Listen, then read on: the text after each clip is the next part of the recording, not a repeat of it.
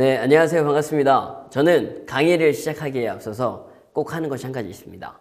뭐냐면 본인의 장점을 이야기하고 칭찬을 하는 시간을 꼭 하는데 4년 조금 넘은 것 같아요. 그 좋은 교육기관이라고 불리우는 곳에서 제가 강의를 들을 때 본인의 장점을 이야기하고 칭찬을 하는 사람과 그렇지 못한 사람이 연봉이 두 배가 넘게 차이가 난답니다. 그래서 연봉을 높이려고 시작을 했어요. 4년이 넘게 지난 오늘 어떻게 됐을까요? 연봉이 좀 올랐을까요? 어, 이렇게 다 의심 하나 안 하고 네 이렇게 고맙습니다. 어, 몸값이 50배 이상 올랐습니다. 어, 거짓말처럼 근데 제가 좋아하는 게 뭔지 알고 내가 어떤 것을 칭찬하고 싶은지 사람들의 장점이 어떤 게 있는지를 생각하면서 주변에 사람들이 정말 많아졌다라는 걸 느끼고 있습니다. 그리고 소통이 아주 즐겁게 되고 있다는 거. 그래서 아 이게 이래서 중요하다고 그랬구나 이렇게 생각을 하는데 어, 지금 지식 산업 시대가 끝나가고 있다. 어, 다 알고 계시죠? 네. 다음 시대가 무슨 시대가 오는지 혹시 알고 계시나요? 제가 감히 말씀드리는데 리액션의 시대가 오고 있다. 네. 많이 아는 것을 자꾸 알려주시는 분보다 자신의 소소한 이야기라도 듣고 아 그랬구나 이렇게 반응해주는 사람들한테 식사비가 투자되고 있고 이제 그런 쪽으로 이제 에너지가 흐르고 있다. 그래서 제가 요즘에 정말 많이 얻어먹어요. 어딜 가든지 그러셨구나 이거만 했는데 혹시 시간 되세요? 그래서 네 그러면 밥을 다 사주셔서 한 3주 만에 5kg가 쪘어요. 네 인정합니다 살찐 거는. 그래서 아야 이게 진짜로 내가 원하는 거 생각하고 사람들이 좋아하는 거 리액션 해드리는 거를 어, 이제 그런 시대가 왔구나 이런 얘기 왜 하고 있을까요 제가? 네 제가 제 장점을 먼저 얘기할 겁니다 반응을 좀 해달라고 제가 지금 이렇게 밑밥을 깔아놨어요 반응해 주실 건가요? 리액션의 시대에서 아, 좋습니다 앞에 있는 강사는 믿기 어려우시겠지만 오리지널 한국 사람입니다 네. 지금 방송을 보시는 분들도 어 이렇게 생각하실 수 있는데 오리지널 한국 사람이고요. 더욱 놀라운 사실은 제가 한국 여자와 결혼을 했다는 겁니다. 결혼 반지도 끼고 다니고 있고 또 뭐가 있을까? 아들이 두 명 있습니다. 네, 남자 구실을 한다는 거죠. 좋습니다. 또 뭐가 있을까? 아, 다이어트 지금 최근에 5kg가 쪄서 20kg밖에 감량이 안 됐네요. 20kg째 감량을 하고 있습니다. 더 감량할 예정이고 또 뭐가 있을까? 뮤지컬 배우 출신입니다. 공연은 시드니에서 했고 시드니 하면 다 알고 있는 그곳 어디죠? 오페라 하우스 네그 건너편 달링하버라는 데서 어, 공연을 했던 기억이 나네요. 좋습니다. 그냥 이 정도 별거 없네요. 음, 이제 칭찬하는 시간을 가져야 되는데 어, 여기 계신 분들이 저를 칭찬을 해주시면 좋을 것 같아요. 칭찬도 받아들이면 칭찬의 주인이 된답니다. 감사합니다. 음, 목소리 맞으면서 고쳤어요. 음, 뮤지컬 할 때. 원래 목소리가 이랬었거든요. 근데 때리니까 죄송합니다. 이렇게 되면서 네, 고쳐졌습니다. 감사합니다. 사실 촬영한다고 어제 샀습니다. 괜찮나요? 고맙습니다. 네. 어 정말요? 하, 벌써부터? 어 고맙습니다. 제대로 한번 오늘 강의를 펼쳐보도록 하겠습니다. 저만 할 게 아니라 여기 계신 분들도 사실 하셔야 돼요. 그렇잖아요. 저만 좋아지면 안 되잖아요. 자 앉아있는 왼쪽에 앉아 계신 분들이 먼저 본인의 장점을 옆에 계신 분들한테 이야기를 해주시는데 오늘만큼은 그 강점을 듣고 그런 것 같아요 하고 리액션을 해주시는 거예요. 저는 정말 아름다운 사람인 것 같아요. 근데 아니거든요. 이렇게 얘기를 해버리시면 시험에 들 수 있어. 오늘만큼은 아, 예 이렇게 해주시고 바로 칭찬해주는 시간. 그래서 시간은 한 1분 정도. 그래서 한 가지 강점 얘기해 주시고 칭찬해 주시고 한 가지 강점 얘기해 주시고 이쪽에서 칭찬해 주시고 뭐 이렇게 시간을 잠깐 가져보면 어떨까 합니다. 준비되셨나요? 네. 네, 시작하겠습니다. 네, 시간이 다 갔는데 되게 재미난 걸 봤어요. 제가 시간이 다 돼서 이렇게 딱 쳐다봤더니 대화하시던 분들이 전부 다 말하다 말고 어, 강점을 나누고 칭찬한 시간 가진 거 맞나요? 기분이 어떠신가요? 좀 신기하죠? 일부러 했는데도 기분 좋은 일들이 사실 좀 있기도 한 것 같아요. 내가 좋아하는 일, 내가 원하는 일. 그런 것들은 항상 어, 기분 좋게 해주는 힘이 있다고 생각을 합니다. 저, 제 소개를 잠깐 하면은 한국평생교육원 국제리더십개발원의 이사로 있고 한국상담협회 교수 그리고 연세대학교 미래교육원의 유머스피치 학과가 있습니다. 그래서 제가 연세대에 들어가서 어, 교육을 하는 교수가 되어 있습니다.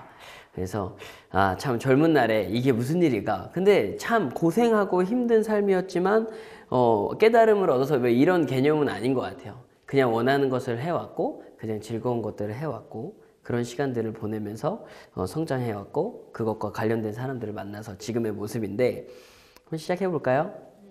네, 좋습니다. 두 가지 이야기를 해드릴 건데 이 두 가지 이야기의 공통점을 찾으시면 제가 작지만 아주 어, 행복한 선물을 한번 드려보도록 하겠습니다. 자, 바이올린 장인이 손으로 한 땀 한 땀 만들었답니다. 얼마 정도 할까요? 천만 원. 천만 원. 조금 더 쓰실 분 안 계십니까? 1억. 1억 5천. 1억 5천. 더 쓰실 분 안 계십니까? 2억. 2억. 실제로 20억짜리 바이올린 이야기를 하려고 합니다. 20억짜리 바이올린. 진짜 비싸지 않습니까? 무슨 악기 하나가. 사실 뭐 값으로 매길 수도 없다 뭐 이렇게도 할 수 있겠지만 값으로 매겼는데 20억이랍니다. 근데 바이올리니스트가 이 바이올린을 메고 샌드위치 가게에 가요. 맛있게 샌드위치를 먹고 돌아 나오려고 하는데 바이올린이 없어졌습니다. 얼마짜리가? 하, 너무 놀랍지 않습니까? 근데 그 바이올린을 훔쳐간 도둑은 지하철역에 사람들이 많은 곳에 가서 판매를 그 자리에서 하게 됩니다. 얼마에? 20만 원에. 근데 사는 사람이 그걸 딱 보고 뭐야, 씨, 이거 뭐 낡았네 이렇게 얘기를 한 거예요. 그 자리에서 10% 디스카운트가 들어갑니다. 18만 원에 판매가 이루어집니다. 얼마짜리 바이올린이? 20억. 너무 놀랍지 않습니까? 이게 첫 번째 얘기고요. 두 번째 얘기. 펜던트, 골동품. 골동품 모으시는 분 계시나요? 모은다면 왜 모을까요? 돈, 재테크 좋습니다. 뭐 탈세도 있고, 네, 취미 생활도 있고, 네, 여러 가지 이유 때문에 이렇게 골동품을 모으는 청년이 있었는데 그 친구가 여행을 멀리 갔다 오고 나서 돈이 다 떨어진 거예요. 어떻게 해야 되죠? 팔아야 됩니다. 그래서 하나 두 개 팔다가 평소에 보지 못하던 십자가 펜던트를 발견하게 돼요. 그래서 이 펜던트를 가지고 이렇게 가서 내려놓습니다. 어디에? 골동품 가게에. 사장님 딱 보시더니 뭐 바들바들 떠시는 거예요. 뭐지? 그랬는데 갑자기 이분이 한 5만 원 정도 생각했는데 갑자기 300만 원 주면 파시겠습니까? 이렇게 얘기를 하는 거예요. 뭐지? 너무 궁금한데 물어볼 수가 없는 거죠. 근데 갑자기 오, 500만 원 이러는 거예요. 뭐지? 진짜 궁금해서 이 표정을 이렇게 하고 있는데 갑자기 그분이 700만 원 팔았을까요? 안 팔았을까요? 여기 계신 선생님들 파시겠습니까? 안 파시겠습니까? 이제 제대로 된 재테크 시작하신 겁니다. 이 친구가 뭐지? 선생님이 아 이거 주세요. 아 진짜 사장님이 실망이에요. 진짜 이렇게 하고 뭐지? 궁금해 하면서 이제 대형 골동품 매장을 찾아간 거예요. 내려놓습니다. 사장님 얼마 주실 수 있습니까? 그러니까 사장님 이걸 딱 보시고 또 바들바들 떠시는 거예요. 뭐지? 진짜 궁금증이 막 올라오는데 물어볼 수는 없어. 근데 이 친구가 가만히 들여다보고 있는데 이 사장님이 갑자기 잠시만요. 골동품 매장마다 있는 사장님들을 다 불러 모으기 시작합니다. 그래서 사장님들이 보는 사람마다 바들바들 떠는 거예요. 뭐지? 진짜 궁금한데. 근데 갑자기 한 분이 제가 2천만 원 드릴게요. 이렇게 얘기하신 거예요. 그때 옆에서 제가 3천만 원 드리겠습니다. 5천만 원 드리겠습니다. 자기들끼리 경매가 붙었어. 뭐지? 진짜 궁금한데 물어볼 수는 없고 근데 한 분이 갑자기 지금 현금으로 2억을 드리도록 하겠습니다. 원하는 금액을 제시하십시오. 그 금액 또한 날짜에 맞춰서 넣어드려 보도록 하겠습니다. 그냥 저한테 파시죠. 뭐지? 진짜 궁금한데 물어볼 수 있어요, 없어요? 네 친구 참지 못하고 물어봅니다. 아니 사장님들 도대체 이 하나 뭐길래 이렇게 비싼 겁니까? 그러니까 쭉 앉아 계시던 사장님들 무슨 생각하셨을까요? 뭐지? 뭐지? 제 모르네 이렇게 하고 알려주는데 펜던트 뒤에 이렇게 쓰여 있었답니다. 사랑하는 조세피나에게 나폴레옹이. 자, 나폴레옹이 이제 사랑하는 연인에게 증표로 줬던 거겠죠. 자, 이 두 가지 이야기를 해드렸습니다. 이 두 가지 이야기의 공통점이 뭘까요? 가치 를 알고 모름에 차이가 너무 크다. 정답. 선물 이따 나갈 때 받아가시면 좋을 것 같아요. 한 가지가 더 있습니다. 아마도 세상에 아, 정답. 네, 선물 꼭 받아가세요. 네, 고맙습니다. 세상에 단 하나밖에 없다라는 거. 그리고 가치를 알고 모르면 차이가 크다는 거. 제가 우표 이야기를 들었는데 경매에 두 장이 올라왔는데 1억짜리 우표였대요. 두 장이 한 장당 5천만 원인 거죠. 근데 경매에 이렇게 올라온 경매 진행하는 사람이 우표 한 장을 들고 태웠답니다. 5천만 원짜리 우표를 라이터로 태웠대요. 제정신이 아닌 거죠. 하나만 남은 세상에 하나만 남은 그 우표가 얼마에 팔렸을까요? 64억에 팔렸답니다. 두 개가 있을 때 1억 그것도 굉장히 비싼 거죠 우표인데 근데 하나밖에 없다라는 게 그렇게 독보적이라는 거죠. 질문을 하나 해보고 싶어요. 여기 앉아 계신 우리 선생님들 나라는 존재는 몇 명입니까? 한 명이고 알고 계시나요? 얼마나 큰 가치를 하고 있는지도 알고 계시나요? 네. 얼만큼 내가 가치로운지를 사람들이 명확하게 알 수 있는지 없는지는 저도 잘 모르겠지만 확실한 거 하나는 세상에 하나밖에 없고 그 어떤 것보다 가치롭다는 거죠.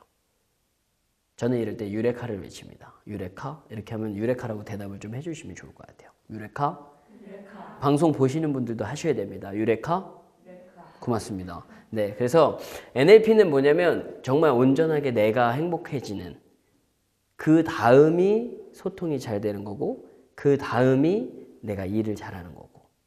근데 내가 좋아지면 그건 다 자연스럽게 됐던 것 같아요. 유레카? 가보겠습니다. 자, NLP란 기본 전제, reframing, anchoring 이렇게 가는데 저희들 조직 문화를 위해서 누가 노력하고 있죠? 개개인 혹은 기업에서 노력을 해주고 있습니다. 근데 왜 노력을 하나 봤더니 그 집단이 행복했으면 좋겠고 좋은 성과를 냈으면 좋겠고 그래서 굉장히 가치롭게 이렇게 선순환의 고리를 만들어 가고 싶어 했던 것 같아요. 근데 개개인들은 이런 얘기를 합니다. 거기에 맞추기가 너무 힘들다. 그러면 조직은 이 개개인의 행복을 위해서 조직을 만들었는데 개개인이 힘들다면 그 조직 문화는 괜찮은 걸까요? 그래서 제가 약간 의구심을 가졌는데 조직 문화를 만들려고 했던 사람들은 좋은 문화를 만들고 싶었던 겁니다. 거기에 맞추려고 하는 것이 아니라 내가 온전하게 나 될 때 거기에 구성원으로서 선순환, 시너지가 나기 시작하더라는 거죠.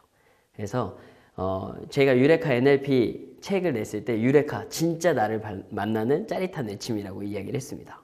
그래서 오늘 여기 오신 분들 혹은 이 청강을 하고 계신 아니, 청취를 하고 계신 분들이 정말 아, 나 괜찮구나 이런 시간을 좀 어, 가질 수 있는 시간이 되기를 바라면서 시작해 보도록 하겠습니다. 자, NLP 뭘까요? 뉴로 링기스틱 프로그래밍, 신경 언어학 프로그래밍입니다. 뇌가 언어로 뇌가 언어로 프로그램 되었다. 그래서 어, 제 질문 하나 해볼게요. 우리 어, 이렇게 열심히 듣고 계시는데 혹시 바닷가 가본 적 있으세요? 바다 하면 떠오르는 게 어떤 게 있으신가요?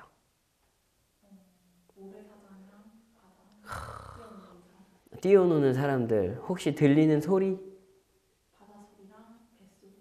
파도 소리랑 백고동 소리 하, 좋습니다. 날씨는 어땠나요? 아 좋습니다. 저는 지금 바다에 대해서 이렇게 질문을 하고 있는데 옆에 계신 우리 선생님은 왜 바다가 떠올랐을까요?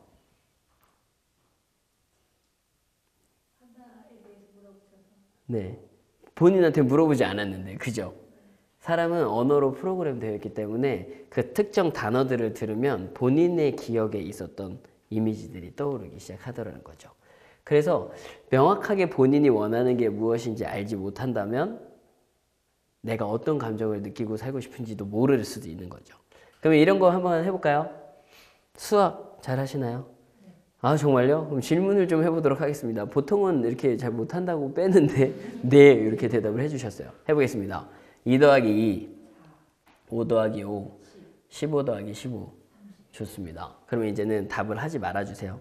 음, 그냥 입으로 대답 안 하셔도 돼요. 7 더하기 7, 13 더하기 13, 30 더하기 30. 자, 대답하지 말라고 했는데 왜 계산하고 계셨나요? 응? 왜 계산하셨어요? 제가 다시 물어볼까봐? 그리고 우리 선생님한테 물어봤는데 왜 계산하고 계셨어요? 뇌는 본인이 퀘스천 마크를 붙이고 이렇게 이미지를 떠올리면 자연스럽게 그거에 대한 답을 찾아가기 시작한다는 거죠. 그래서 뇌가 언어로 프로그램 되어 있다. 그렇기 때문에 본인이 어떤 언어로 미래를 프로그램하고 살고 싶은지가 되게 중요한 것 같은데 혹시 지하철 가끔씩 타시나요? 음, 지하철에 타서 약간 한적해. 딱 문이 열렸는데 한두 자리 있어서 뭔가 빠른 걸음으로 가야 되는 느낌이 아니라 그냥 여유 있어서 이렇게 쫙 들어가고 딱 앉아서 아 좋다 이렇게 하고 이동을 하고 있는데 몇 정거장 지나지 않아서 문이 열리고 아이들 두 명이 뛰어 들어옵니다. 와 이러고 뛰어다니기 시작해요.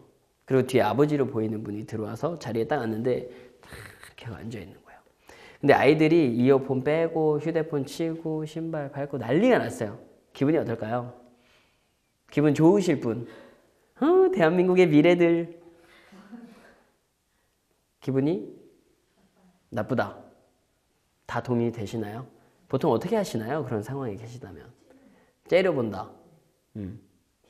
피한다. 좋습니다. 계속 쫓아오면요. 째려보니까 걔들도 째려봐. 와. 그래서 어떤 교육하시는 분인가 봐요. 그분한테 아버지로 보이는 분한테 가서 질문을 합니다. 저 실례지만 자제분들 되시나요? 그랬더니 맞답니다. 그래서 제가 이 교육을 전공을 하고 있어서 이 상황에 제가 조금 도움이 될 수 있을 것 같은데 실례가 안 된다면 제가 좀 도움을 드려도 될까요? 그랬더니 이분이 네, 저 좀 도와주십시오. 지금 아이들의 엄마가 세상을 등졌다는 얘기를 듣고 급히 병원에 가는 길입니다. 저 좀 도와주십시오. 이렇게 이야기를 했다는 거죠. 아이들이 어떻게 보이시나요? 안타깝다. 애들 계속 뛰어다니고 있는데 소리 지르고 째려봐야 되는 거 아닌가요? 피해야 되는 거 아닌가요? 기분이 달라지셨나요? 제가 질문 하나 더 하겠습니다. 그 남자분이 한 말이 진짜인지 가짜인지는 어떻게 알 수 있습니까? 알 수 있습니까? 눈빛을 보면 알 수 있다고 하시는 분들이 계시는데 그분은 정말 특수 기관에 이제 가서 일을 해보셔도 좋을 것 같아요. 알 수 없습니다. 한 가지 또 질문이 떠오르네요. 지금 우리 지하철 타고 가고 있나요? 그 아이들이 저희 눈앞에 있나요? 근데 왜 감정의 변화가 일어났을까요? 왜? 사람은 결국에 어느 환경에 있느냐가 아니라 어떤 생각을 하느냐에 본인의 감정이 움직인다는 거죠. 현대인들이 본인에 대해서 생각을 참 안 한대요. 실제로 제가 낚시를 되게 좋아하는데 낚시 갔을 때 가장 불행한 순간이 언제인지 혹시 아시나요? 심리적으로? 못 잡을 때, 입질도 없을 때, 네, 그때도 힘듭니다. 근데 진짜 힘든 건 많은 분들이 잡았던 고기를 놓칠 때라고 이야기를 해주거든요. 진짜 마음이 힘든 건 옆 사람이 대어를 닦을 때입니다. 정말 마음이 힘들어져요. 특히 제가 미끼 껴주고 이렇게 딱 하고 같이 던졌는데 이쪽에서 계속 잡히면 마음이 참 힘들어져요. 그러면 심리적으로 가장 행복한 순간은 언제일까요? 크, 내가 잡을 때 크, 얼마나 행복한지 아십니까? 근데 심리적으로 가장 행복한 순간은 옆 사람이 그 대어를 놓칠 때랍니다. 놀랍지 않나요? 그러니까 감정이 그동안 내가 보고 저럴 것이다 라고 생각하는 거에만 감정을 소비해왔던 것 같아요. 내가 이런 걸 좋아하는구나, 내가 이런 걸 싫어하는구나가 아니라, 아, 왜 저래? 쟤는 왜 저러지? 왜 이런 거에 참 많은 시간과 에너지를 썼던 것 같아요. 그래서 저희 NLP에서 언어로 프로그램 되었고, 나에게 집중해서, 아, 내가 어떤 걸 좋아하는지, 그리고 나는 어떤 성과를 내고 싶은지, 나는 이 조직에서 어떤 역할을 하고 싶은지를 한 번쯤 이렇게 구체적으로 생각하면서 나의 에너지를 표출해보는 그런 시간이 될 거라고 확신합니다. 유레카? 좋습니다. NLP 정말 간단하게 어, 소개가 됐고요. 기본 전제가 8가지가 있는데 그 중에 제가 핵심이라고 생각하는 걸 두 가지를 가지고 왔습니다. 어, 왜냐면 이게 교육도 좋지만 일상생활에 드러나야 되고 그럼으로써 정말 이게 되게 쉽고 편하고 재밌는데 삶에 긍정적 영향을 미친다면 저는 그 정말 대박이다 이렇게 생각을 했던 것 같아요. 그 두 가지를 가지고 왔습니다. 자, 첫 번째 지도는 영토가 아니다. 무슨 얘기를 하고 싶은 걸까요? 앞에 있는 강사의 코가 장점일까요? 단점일까요? 고맙습니다. 여기 계신 분들 마음이 참 좋으시네요. 제가 중학교 2학년 때 어머니 친구가 이렇게 집에 놀러 오셨는데 그런 얘기를 하셨어요. 범구, 얘가 범구가 이렇게 큰 거야? 근데 얘는 튀기 같다. 이런 말씀을 하셨어요. 튀기가 뭔지 아시나요? 호녀라를 튀기라고 한다고 하더라고요. 그래서 근데 저는 그때 이제 튀기가 무슨 뜻인지 모르고 튀김이라고 들은 거예요. 그래서 아 튀김이 뭐지? 이러고 엄마 친구가 가시고 엄마 왜 튀김이라 그래? 그랬더니 놀라운 일이 일어났어요. 아그 호녀라 이 얘기를 딱 듣는 순간 그러니까 예, 섞였다라는 섞인 아이들을 이렇게 튀기라고 불러 이렇게 하는데 저는 그 튀김이란 말이 너무 화가 나는 거예요. 그 뜨거운 기름에 펄펄 이렇게 넣어가지고 막 이렇게 해서 제가 막 그런 모습이라는 것처럼 느껴지는 거예요. 그래서 뭐야 그렇다 그래서 튀김이라고 부른다는 거야? 하면서 그 뒤로는 코 얘기하는 사람들에게 제가 분노를 표출하기 시작합니다. 야 너 이거 코 이러면 그냥 코를 때려버리고 막 이렇게 그렇게 지내다가 고등학교 1학년 때쯤이었던 것 같아요. 어, 친구들이 하도 코 얘기를 해서 이제 코가 부러졌던 거냐 막 이런 많이 물어봤어요. 그래서 어머니한테 여쭤봤죠. 어머니 나의 코는 언제부터 이랬습니까? 했더니 너 태어났을 때부터 코가 커, 서 어, 간호사 두 명이 딱 너 태어나자마자 얘 코봐 이랬었어. 그래서 친구들한테 이게 다치거나 수술을 한 게 아니다. 그래서 얘 코바 이랬었대 얘기를 했더니 그때부터 별명이 붙었는데 달려라 코바였습니다. 또 태권도 선수였거든요. 맨날 아침마다 달리는 코바인 거예요. 그래서 어, 달려라 코바라는 별명이 근데 참 어린 나이여서 그랬겠죠. 너무너무 싫은 거예요. 힘들고. 그래서 아, 어, 왜 나는 이 달려라 코바로 살아야 하는가 이렇게 했는데 제가 운동선수 생활을 그만두고 이제 대학을 그냥 평범하게 가게 되는데 친했던 친구가 하나도 없는 거예요. 달려라 코바가 사라졌습니다. 정말 기쁜 시간이었어요. 그래서 제가 야 이게 별명이 사라졌다 너무 좋다 이렇게 했는데 친구들이 제가 코가 크다는 사실은 알고 있었나 봐요. 첫 번째 MT를 가기로 했던 날 장을 보러 갔는데 이 실내화가 쫙 깔려 있는데 실내화 이름이 니코 보코인 거야. 네. 그때부터 별명이 니코 보코가 됩니다. 제 코가 보코라는 거죠. 고마운 얘기긴 한데 참 니코 보코. 그래서 술자리에서 사고를 참 많이 쳤던 것 같아요. 옆 테이블에서 막 웃으면 내 코 보고 웃나? 이런 자존감이 참 낮았던 모습이죠. 그러던 어느 날 노래방에서 아르바이트를 하고 있는데 어깨가 널찍하신 분이 들어오십니다. 딱 보더니 저를 딱 보시더니 넌 어디에냐 이러시는데 원래 목소리가 이랬다 그랬잖아요. 헬륨 먹은 목소리. 저 의정부 사람인데요. 그랬더니 아니 아니 국적 딱 이러시는 거예요. 뭐지? 한국 사람인데 그랬더니 야 오리지널 딱 이러시는 거예요. 그래서 네 오리지널 한국 사람이에요. 그랬더니 아니야 아니야 너는 생긴 것도 그렇고 목소리도 그렇고 절대 한국인일 수가 없어. 너희 부모님한테 확인 한번 해봐. 딱 이러시는데 너무 화가 나는 거예요. 그래서 그분이 이제 방에 친구가 이제 룸으로 안내를 하는데 막 부들부들 떨리더라고요. 이걸 어떻게 해야 되지? 막 이렇게 부들부들 떨고 있는데 이 친구가 들어가 있는 사이에 막저 사람을 해쳐야 되겠다 뭐 이런 생각이 지배적으로 들었나 봐요. 밖에 나가서 빈 맥주병을 들고 따라 들어갑니다. 그래서 따라 들어가는 길에 친구가 나와서 저를 딱 보더니 봉구야 너 왜 그래? 딱 이러는 거예요. 그래서 나 쟤 죽이고 지옥 갈란다 딱 이러니까 친구가 제 손을 탁 잡으면서 봉구야 우리 저런 인간 때문에 인생 망치지 말자 딱 이러는데 와 진짜 싫어하는 사람 때문에 제 인생이 싫어질 수도 있겠다라는 생각이 들더라고요. 무섭더라고요 그게 더. 그래서 어, 병을 내려놓고 그날 하루 친구가 도와줘서 이렇게 일을 잘 마무리할 수 있었는데 그 뒤로 더 싫은 거예요. 누군가 코 얘기를 하면 부모님을 능멸하는 것 같고 그러다가 제가 레크레이션 강사가 됩니다. 음, 즐겁게 살고 싶은 마음 되게 컸던 것 같아요. 레크레이션 강사가 됐는데 어, 대형으로 시작부터 굉장히 대형으로 레크레이션을 할 수 있었어요. 그래서 거기서 섭외가 들어와서 뭐 교회나 이런 단체 같은 데서 하게 됐는데 중학생들이라는 거예요. 근데 우리 애들이 너무 힘들게 할 수도 있는데 잘 부탁드린다 이러는데 아시나요 중2들 참 무섭더라고요. 근데 참 레크레이션이 제 꿈을 찾은 것 같았어요. 왜냐면 그 학생들도 시키는 대로 다 하고 같이 웃고 막 이러는데 친해지니까 아이들이 거짓말처럼 물어보는 질문이 있더라고요. 선생님, 그 코 진짜예요?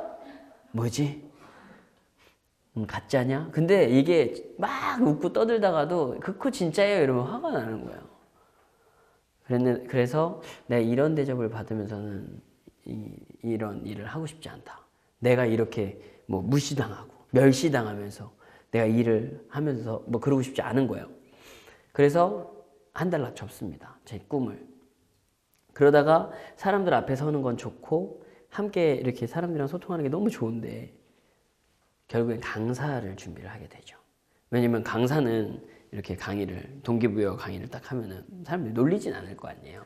그래서 이제 이렇게 했는데 강의를 시작한 지 1년도 안 돼서 일이 진짜 없죠. 왜냐면 저를 아는 사람도 없고 불러줄 사람도 없고 그래서 저를 알리고 막 이렇게 노력하려고 하고 있을 때 갑자기 다문화 가정 아이들 캠프 운영진으로 부탁을 받는데 이 기회가 온 거잖아요. 조금씩 알려질. 그래서 제가 갔습니다. 네, 갈 수 있습니다. 해서 2박 3일 캠프를 갔는데 이렇게 가서 기다리는데 차가 대형 버스 세 대가 오더라고요.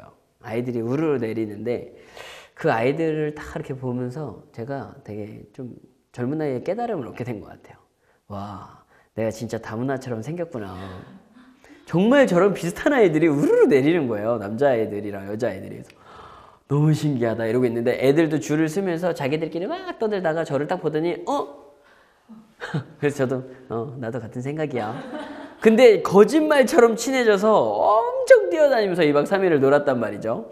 그리고 2박 3일이 끝나갈 무렵에 아이들이 선생님 헤어지기 싫어요 막 이렇게 하는데 너무 좋은 거예요. 이 아이들이 정말 이 마치 이게 이 핏줄이 연결되어 있는 느낌이랄까요.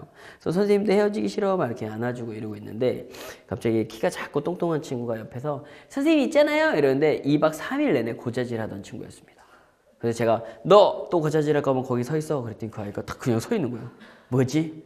고자질 하려고 그랬나? 그래서 애들한테 예쁘다 예쁘다 하고 있는데 맨 앞에 키가 작은데 이렇게 눈이 파랗고 쌍꺼풀이 예쁜 여자아이가 선생님 선생님은 어느 나라 사람이에요? 딱 물어보는데 제가 뭐지?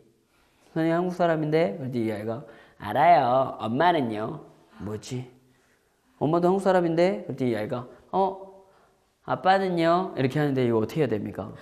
저희 아버지 필리핀이라도 보내드려야 됩니까? 아 갈등이 되더라고요. 근데 거짓말을 해서 아이들을 즐겁게 하기보다는 사실을 얘기하는 어른이 돼야 되겠다. 그래서 한국 사람이야라고 얘기를 딱 하려고 했는데 옆에 그 키가 작고 똥똥한 친구가 옆에서 멕시코야! 참 놀라운 일이 일어났습니다. 애들이 멕시코 그러고 다 사라졌어요. 그 아이들은 아직도 멕시코 아버지를 둔 선생님으로 기억을 하고 있을 겁니다.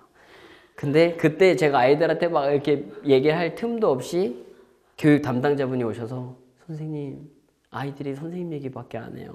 너무 좋은 캠프였대요. 이랬는데 아버지가 멕시코 사람이라 그래요. 이럴 수는 없잖아요. 그래서 아 그렇습니까? 감사합니다. 아이들이 정말 사랑스럽네요. 이랬더니 그 담당자분께서 혹시 다음 캠프에 또 모셔도 될까요? 이렇게 아이들이 행복해하는 시간을 가져본 거는 처음인 것 같아요. 이렇게 말씀해 주신 거예요. 그때 친구들이 지어준 대학교 때 지어준 별명이 떠오르더라고요. 뭐였죠? 니코 포코요. 그래서 야 이게 돈이 되는 코구나 이런 생각을 했는데 그 뒤로는 제 코 얘기가 저는 너무 즐거운 거예요. 아 니코 포코. 그러니까 언제부턴가 코 얘기를 누군가 해주면 그게 기분 나쁜 일이 아니라 즐거운 일로 바뀌는 거예요. 실제로 얼마 전에 저희 국제시장 갔거든요. 갔는데 어 저한테 제가 제가 분명히 한국말로 얘기했거든요. 닭꼬치 세개 주세요. 그랬더니 three? 그래서 아 예, 그랬더니 two, three 막 이래 그래서 세개 주세요. 저 한국 사람이에요. 그랬더니 깜짝 놀라시는 거예요. 근데 그런 상황들이 예전 같았으면 참 스트레스였을 텐데 너무 기분 좋은. 그리고 이제 제 아내가 이제 코코넛을 제가 좋아하니까 코코넛 좋아하는 코코넛 이렇게 해주니까 제가 괜찮은데 메모해 놓고 언제부턴가 제가 코 얘기를 하는 걸 되게 좋아하더라고요.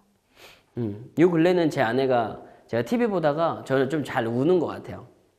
외국인 노동자가 한국에 와서 고생한다고 그 사장님이 가족들을 만나게 해주는 그런 장면이 있었는데 연출이 너무 기가 막힌 거예요. 그래서 그걸 보다가 제가 막 울었어. 설거지 마치고 이렇게 들어온 아내가 저를 딱 보더니 왜 고향 생각나? 근데 순간 빵 터진 거야 울다가 그래서 아 이게 즐거움이 될 수 있구나 제가 여기서 꼭 말씀드리고 싶은 게 뭐냐면 사람들이 나에게 놀림감이 되거나 흠잡고 있는 것들이 내가 그것을 끄집어냈을 때 삶에 굉장한 여유와 즐거움을 준다는 거 그리고 사람들이 코어를 가지고 누군가 얘기를 했을 때 조심스럽게 얘기를 했는데 제가 그것을 굉장히 기쁘게 받아들일 때 그 사람의 평가가 높아진다는 걸 알게 됐습니다.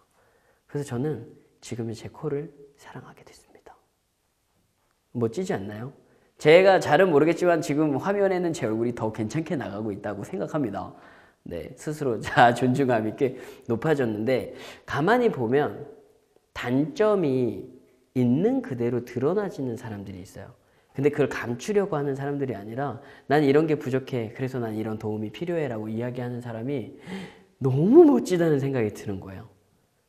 그래서 어, 지금 내가 가지고 있는 불편한 에너지, 생각들 혹은 어, 드러내고 싶지 않은 부분이 있다면 조금 더 자유롭게 여유를 가져보는 건 어떨까 이렇게 생각하면서 쉬는 시간을 좀 갖도록 하겠습니다. 감사합니다. 네.